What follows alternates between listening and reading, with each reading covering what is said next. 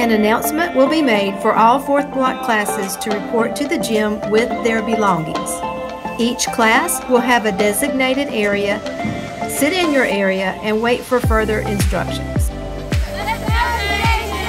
So, as we head towards the football field, show your school spirit and chant JHS. Be loud and let's show JMS and JES that we are the best.